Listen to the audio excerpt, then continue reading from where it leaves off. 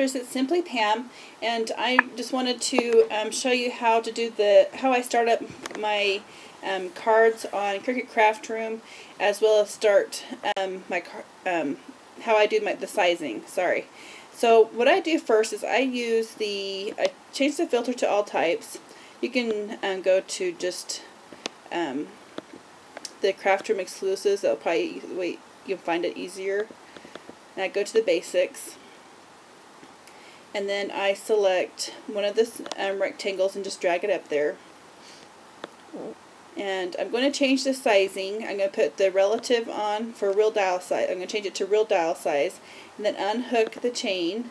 And I'm going to make this 5 by 5 So I'm going to make a 5 by 5 size um, layer. This is my um, first layer. I'm making a 5.5 by 5.5 size card. And so um, this is my main layer with that has images on it and it's going to be 5 by 5 so let me just change this back to 5 and then um, link it up. And then take, make sure you take off the real dial so it's relative. Now I'm going to go back to um, and this and then I kind of I kind of um, put the the items in the picture in the square to see if everything will fit and that's how I uh, make sure my sizing is all perfect. Now I'm going to be making a snowman. I'm going to be choosing Snow Friends. And I'm going to do, I forgot which one I'm doing here. Um, let's see, I arms. This Okay, so I'm going to drag this up here. And I'm going to select current layer. And this is too big for what I'm wanting. So I'm going to change this to 3.5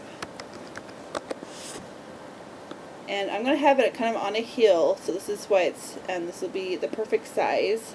And to make sure that all your layers will match you want to go to options. And then in the craft room tab right here you change the dial size to 3.5 and then that way all your layers will uh, match up. So I'm going to just bring this down a little bit so um, this is the first layer.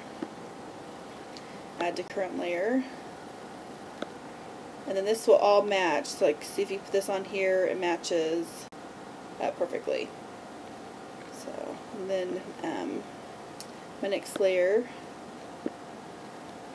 current layer. And then my last one is the cheeks, and I'm not going to actually be using the cheeks, I'm going to be using a stamp, so I'm not going to add that at all. Okay, so then what you want to do is color um, with the with the Cricut Crafter and Imagine. You just color each what each of these are, and then um, then print and cut. That's all you need to do for this, and then um, you'll see what this ends up being later. Since I have this um, square right here, I'm actually going to put um, my background color on there, and um, and so that will actually be my back my main layer. I'll kind of, hopefully I'll explain this a little bit better, but anyways, so, but if you're not going to be using it, just delete it, but I'm going to be actually filling it with a color, and it's going to be one of my layers, and so that's why I'm leaving it on there. But anyways, hope this explained a little bit on how to do the sizing. It took me a long time to figure out how to make sure everything um, comes out correctly, because if I change this to to 4 and I change this to 4, it's going to be really large. So, um, just you make just add your main image first, change your sizing to what you want it then, and then go to options and make it make it the same size, and then add your layers. So I hope that um, worked out for you. Let me know if you have any questions. Um, head on over to my blog, simply-pam.blogspot.com for more information. Thanks. Bye.